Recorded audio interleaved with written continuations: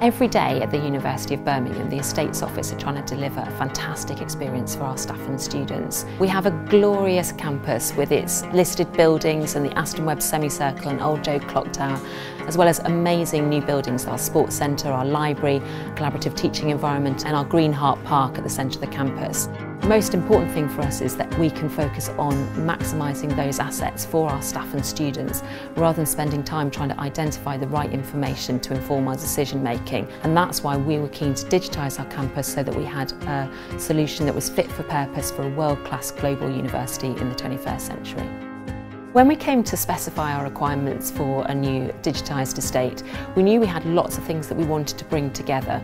We wanted simple reporting, we wanted to be able to have the management of information all the way from a first idea through to a building which is happily occupied by our staff and students, and we wanted to be able to take a single view of the campus at any one time. There was only one vendor who could give us all of those in one simple solution, and Group BC impressed us with the way that they worked collaboratively and supportively to identify the best solutions for the University of Birmingham.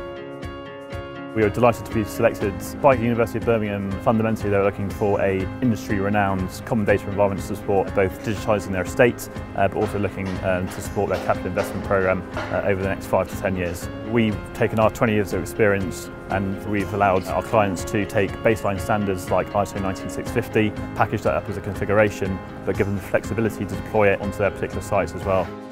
University Estates Office is digitising information for the best part of 250 buildings. That's health and safety information, compliance information, drawings, 3D models. We are also looking to run our capital programme through this for the next five years or so, which will equate to about a billion pounds worth of projects. We also deliver documentation on projects working with over 300 companies. All these companies need to deliver our documentation in a uniform way to help us manage the estate more efficiently. We needed a common data environment that can enable our digital process throughout the entire life cycle of the project and make sure that the information we're collecting together is suited to all. We didn't want to have the software drive the process. We spent a lot of time planning our processes up front and then looked at how the software could then support those. Group BC are efficient and uh, reliable. They helped us capture our requirements and turn them into one final solution that is tailored to suit our needs, not just for the project delivery phases, but also for our operational teams.